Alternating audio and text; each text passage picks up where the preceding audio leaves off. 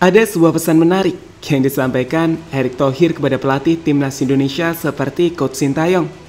Carilah pemain terbaik keturunan untuk timnas Indonesia. Artinya, mereka yang bermain untuk timnas harus pemain-pemain yang punya kualitas terbaik. Dan itu terbukti saat para pemain tim Garuda juga mulai menunjukkan kualitas hebatnya di level klub. Terbaru, para pemain seperti Rafael Turek hingga Mauresmo Hinoke yang sebelumnya masih bermain di tim akademi mulai dipanggil dan bermain di skuad utama timnya masing-masing. Begitu pula Nathan yang mulai mendapatkan kesempatan bermain di tim utama Swansea. Evar Jenner juga tampil menawan di pramusim. Dan jelas, itu pertanda bagus yang menunjukkan jika timnas Indonesia benar-benar punya potensi besar dengan para pemain mudanya.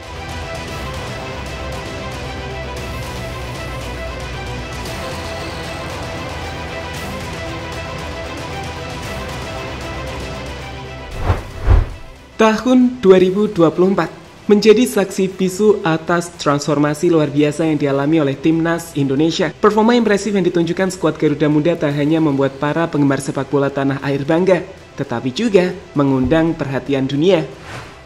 Kenaikan peringkat FIFA yang signifikan yang diikuti oleh performa di ajang Piala Asia hingga kualifikasi Piala Dunia menjadi bukti nyata dari progres pesat yang telah dicapai.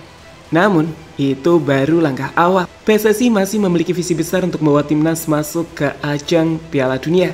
Dan untuk mewujudkan hal tersebut, berbagai program mulai ditingkatkan seperti pembinaan pemain usia dini, peningkatan kualitas kompetisi domestik, hingga naturalisasi pemain keturunan Indonesia yang berbakat, di mana potensi Indonesia menjadi makin begitu besar ketika pemain muda timnas kita mulai menunjukkan perkembangan signifikan di level internasional.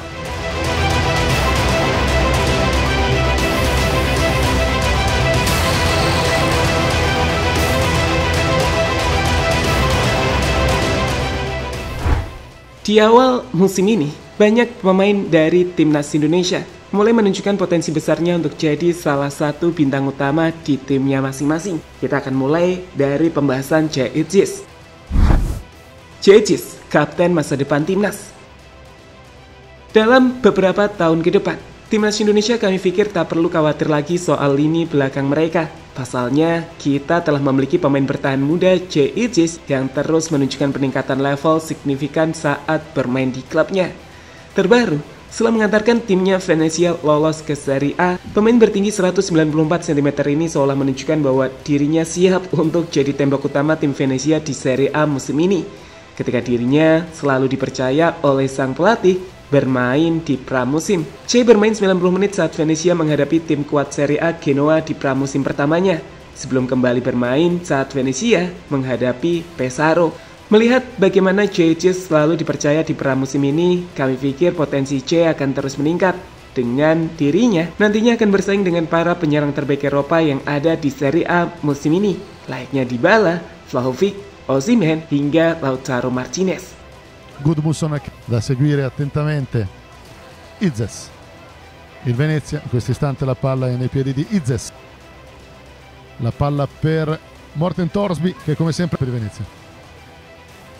La palla in alto arrivano ci dà il numero 4 Iz fondo a favore del Genoa. Ivar Jenner maestro timnas Meskipun usianya baru 20 tahun, Ivar Jenner terus menunjukkan perkembangan soal kematangan yang mengesankan. Hal itu juga lah yang dilihat oleh timnya FC Utrecht di pramusim ini. Dipanggil untuk membela skuad utama tim di pramusim, Ivar mampu membuktikan jika dirinya bisa jadi otak permainan tim tersebut. Di dua laga pramusim ini, menghadapi Al Ryan dari Qatar dan juga Schalke 04 dari Jerman, Ivar selalu bermain. Dirinya bahkan membantu timnya menang 4-1 saat bermain penuh di laga kontra Al Ryan. Sedangkan di laga kontra Salke 04, Ivar yang baru bermain di awal babak kedua, membantu timnya menang saat dua gol FC Utrecht dicetak di babak yang kedua. Melihat perkembangan Ivar, namanya pun kini mulai diproyeksikan untuk bermain di skuad utama musim depan.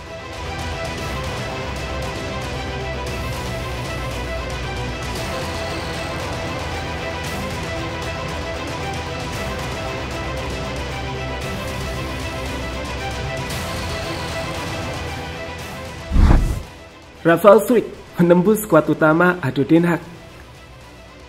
Setelah di sepanjang musim lalu, Swick masih harus bermain di tim Under 21 Ado Den Haag, Musim ini, Rafa diprediksi punya kesempatan untuk jadi bagian dari skuad utama tim tersebut. Setelah di pramusim ini, pemain 21 tahun itu dipercaya untuk bermain di tim utama bahkan jadi starter tim tersebut. Di pertandingan terbaru, Rafa bahkan menjadi pemain dengan menit bermain terbanyak untuk timnya menghadapi Zulte Waregem. Setelah bermain selama 75 menit, ia yang sempat ditarik keluar kembali dimasukkan di menit 83 yang membuat Rafael Struik jadi satu-satunya pemain adu Den Haag yang menyelesaikan pertandingan dari kick off dimulainya laga. Jika bisa menembus skuad utama Ado Den Haag, ini tentu akan bagus. Mengingat Ado Den Haag merupakan salah satu tim kuat di Liga Belanda yang saat ini bermain di Astre Division atau di divisi kedua Liga Belanda.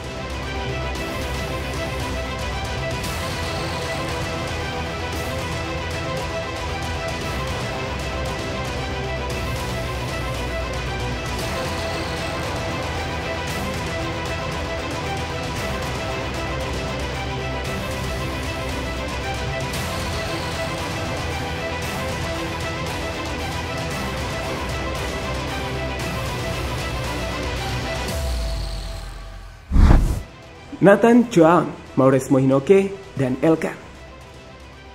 Selain tiga nama sebelumnya, yakni Ivar, Rafa, dan Jaicis yang udah mulai bermain di pramusim bersama tim utama masing-masing. Pemain muda timnas Indonesia lainnya sejatinya juga mulai mendapatkan kesempatan untuk bermain di tim utama. Nathan Joaon meski belum bermain, nampak mengikuti latihan dan masuk ke bench tim Swansea di laga pramusim ini. Sedangkan untuk Elkan Bagot, pemain bertahan milik Ipswich itu berpotensi jadi pemain Indonesia pertama yang masuk ke Premier League. Saat pelatihnya Kieran McKenna memilih untuk tak melepasnya dan mulai memasukkan nama Elkan di skuad utama Ipswich untuk musim depan. Selain itu ada juga Maurizmo Hinoke. Pemain 19 tahun FC Chontra ini baru-baru ini dilaporkan kalau telah masuk ke skuad utama timnya untuk pramusim juga.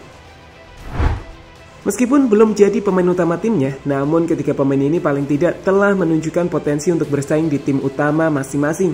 Dan dengan usia yang masih muda, potensi untuk terus berkembang juga terbuka lebar. Sehingga bukan tidak mungkin, dengan kesabaran dan proses untuk terus meningkatkan level, peluang itu akan terbuka untuk mereka.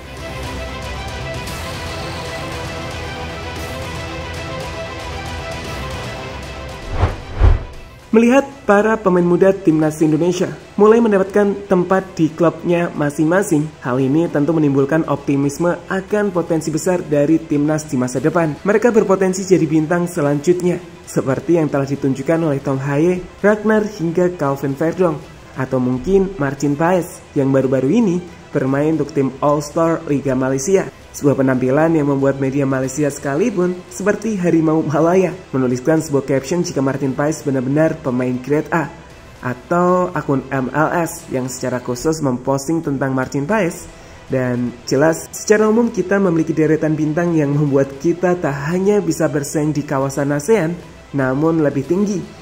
Para pemain muda timnas kali ini kami pikir siap untuk membawa tim Garuda bersaing di kompetisi yang jauh lebih besar yakni di level Asia.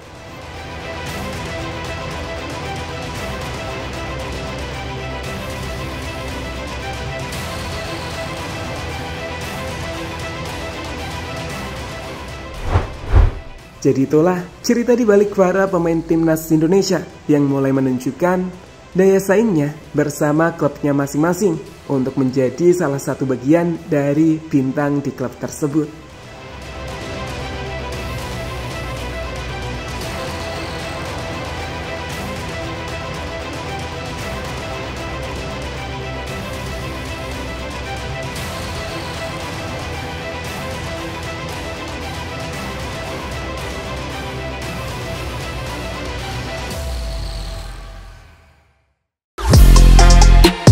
Halo, izin iklan sebentar ya guys. Jadikan ruangmu bernuansa timnas. Temukan beragam poster dinding, sepak bola dan timnas dengan desain menawan, kualitas premium dan harga yang tidak akan menguras kantong. Segera klik link Shopee di deskripsi video ini dan dukung timnas dengan sepenuh hati. Mulai dari dinding rumahmu.